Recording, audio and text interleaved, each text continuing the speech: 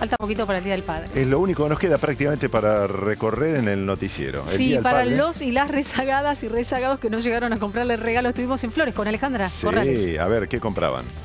Este domingo 19 de junio es el Día del Padre, por eso vinimos hacia Flores, más precisamente a la avenida Avellaneda al 3100, para mostrarles de qué manera ya hay mucha gente que aprovecha no solo los precios, sino las promociones para venir y comprar en este lugar. Hablamos con comerciantes y también con compradores. Eh, aumentó mucho la gente que viene a la avenida Avellaneda porque sinceramente la ropa aumentó muchísimo, pero acá en Flores se consigue la ropa mucho más barata que en todos lados. O sea, lo que acá vale 5 mil en un shopping te lo cobran 20 mil o en un paseo cercano. Entonces la gente la verdad que viene a Flores y compra muchísimo acá en Flores.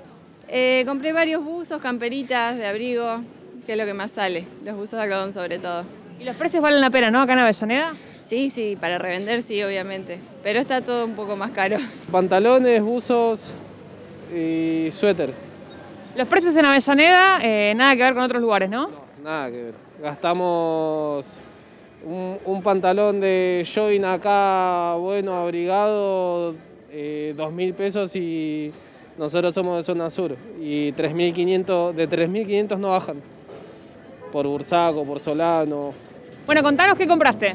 Bueno, no, compramos medias, eh, conjuntos de jogging, eh, camisetas, suéter, eh, de todo un poco. ¿Todo para el Día del Padre? Eh, no, eh, un poco para el Día del Padre y otro poco para nosotros. ¿Primera vez que vienen acá a Avellaneda a comprar? No, pero hace un montón que no veníamos. Yo vine creo que la última vez, 2017. ¿De dónde sos? De La Plata. Ah, mira, y te venís desde La Plata hasta acá, o sea que vale la pena el viaje y, y el esfuerzo. Y no te digo que venimos permanentemente, pero cada un, no sé, un par, dos o tres meses venimos porque sí.